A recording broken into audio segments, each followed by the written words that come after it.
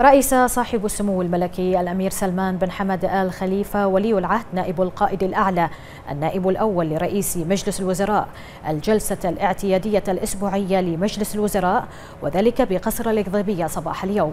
وقد أدلى سعادة الدكتور ياسر بن عيسى الناصر الأمين العام لمجلس الوزراء عقب الجلسة التصريح التالي. في خضم التداعيات المتسارعة والتطورات الخطيرة التي تمر بها المنطقة فقد دعا مجلس الوزراء إلى عدم التصعيد والعمل على التخفيف من حدة التوتر باحتواء الموقف وتداعياته وتكثيف الجهود التي تفضي إلى أمن واستقرار المنطقة وتجنيبها العنف والدمار. وشدد المجلس على أهمية التحرك العاجل للمجتمع الدولي واتخاذ الإجراءات اللازمة لضمان الأمن والاستقرار في المنطقة لما لها من أهمية حيوية واستراتيجية للعالم بأسره. وفي سياق آخر فقد اطمأن صاحب السمو الملكي ولي العهد نائب القائد الأعلى النائب الأول لرئيس مجلس الوزراء على الإجراءات الاحترازية والوقائية التي اتخذتها الوزارات والأجهزة الحكومية وقدراتها واستعداداتها لتوفير خدماتها للمواطنين في مختلف الظروف والتحديات في كافة القطاعات الخدمية التي تشرف عليها. وعلى صعيد ذي صلة. فقد أدان المجلس قرار تركيا إرسال قوات عسكرية إلى ليبيا لما يشكله ذلك من تدخل سافر في شأن دولة عربية شقيقة وتفاقم الصراع فيها وتهديدا واضحا للأمن القومي العربي واستقرار المنطقة وانتهاكا صارخا لقرارات الشرعية الدولية.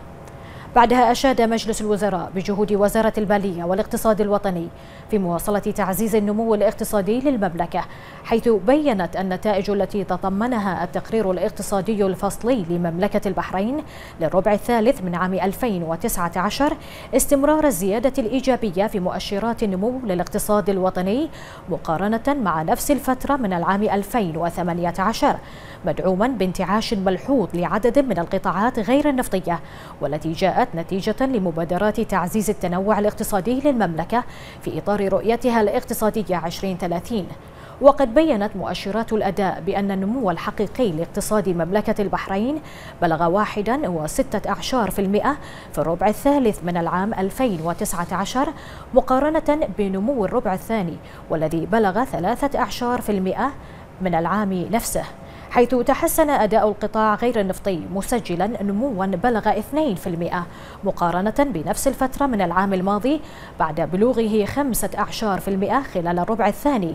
بينما سجل القطاع النفطي تراجعا طفيفا بلغ عشرا في المئة مقارنة بالعام الماضي إلا أن مستويات إنتاج النفط شهدت استقرارا بشكل عام خلال الربع الثالث.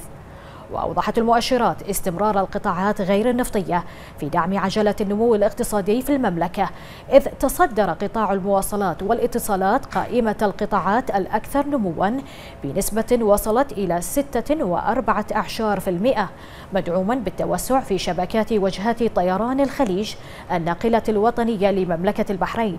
يليه قطاع الفنادق والمطاعم بنسبة ستة وثلاثة أعشار في المئة فقطاع الصناعات التحويلية بنسبة بلغت أربعة وعشرا في المئة. كما بينت الإحصاءات الإيجابية في التقرير الاقتصادي أن قطاع المشروعات المالية تصدر القطاعات المساهمة في الناتج المحلي الإجمالي بنسبة 17% يليه قطاع الصناعات التحويلية بنسبة 15% كما أن تنامي النمو الاقتصادي في المملكة أسهم في توفير المزيد من الفرص للعمل المناسبة للمواطنين بما يلبي متطلبات سوق العمل واستقطاب الكفاءات حيث استطاع الاقتصاد الوطني نتيجة التنوع في قطاعاته أن يخلق وظائف نوعية واعدة واستحداث العديد من المبادرات والبرامج الرامية إلى زيادة فرص التوظيف ومنها البرنامج الوطني للتوظيف الذي أسهم في توظيف أكثر من تسعة آلاف من الباحثين عن عمل المسجلين ضمن البرنامج الوطني للتوظيف. حيث ارتفعت معدلات التوظيف اليومية بنسبة 30% أي بمعدل 103 متوظف يوميا. في حين بلغ عدد الشواغر الوظيفية التي تم استلامها منذ تدشين البرنامج نحو 13321 شاغرا مرتفعا بنسبة 82% بعد ذلك نظر المجلس في المذكرات المدرجة على جدول أعماله وذلك على النحو التالي.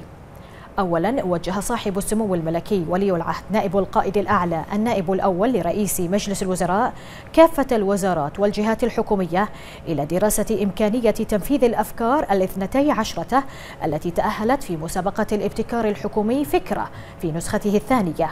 وفي هذا الصدد أكد مجلس الوزراء على أهمية مواصلة تعزيز الابتكار والإبداع في العمل الحكومي واستمرارية تشجيع الكوادر الوطنية وتحفيزها على الابتكار بما يسهم في تطوير الأداء والتميز في جودة الخدمة الحكومية.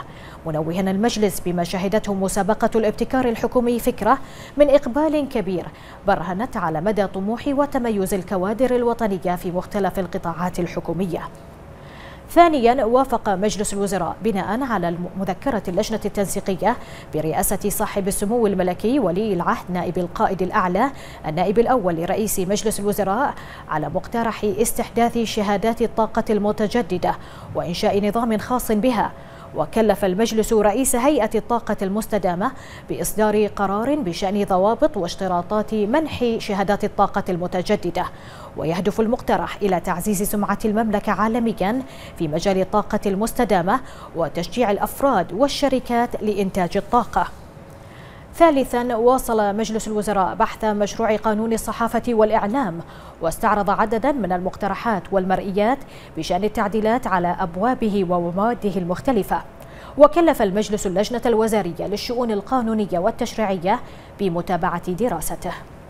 رابعا وافق مجلس الوزراء على تعديل اللائحة النموذجية للنظام الأساسي للأندية التي تخضع لإشراف وزارة شؤون الشباب والرياضة. وأقر مشروع قرار بإضافة فقرة جديدة إلى المادة السادسة من اللائحة النموذجية للنظام الأساسي للأندية الخاضعة لإشراف وزارة شؤون الشباب والرياضة الصادر بالقرار رقم واحد لسنة 1990 ويعفي مشروع القرار الأشخاص الذين مثلوا المنتخبات الوطنية والأندية في المحافل الدولية من شرط الحصول على تزكية عضوين عاملين بالنادي في حال تقدمهم بطلب العضوية إلى ذلك النادي. خامسا بحث مجلس الوزراء مذكرة مرفوعة من سعادة وزير التربية والتعليم. تتضمن عددا من الإجراءات المقترحة لضمان سير العملية التعليمية وفق الجودة التي تنشدها الحكومة والاحتياجات المقترحة لذلك حيث قرر المجلس إحالتها إلى اللجنتين الوزاريتين للمشاريع التنموية والبنية التحتية والشؤون المالية والاقتصادية والتوازن المالي. سادسا أحال مجلس الوزراء إلى اللجنة الوزارية للشؤون القانونية والتشريعية مشروع قرار يحدد رسوم القيد في جدول الوسطاء ورسوم تجديد القيد والذي رفعه معالي وزير العدل والشؤون الإسلامية والأوقاف. سابعا وافق مجلس الوزراء على مذكرة تفاهم للتعاون بين مملكة البحرين ممثلة في الهيئة الوطنية لعلوم الفضاء والوكالة اليابانية لاستكشاف الفضاء والتي رفعها سعادة وزير المواصلات والاتصالات. وتهدف مذكرة التفاهم إلى تبادل الخبرات في دعم جهود بناء القدرات الوطنية وتطوير إمكانيات الهيئة الوطنية للفضاء.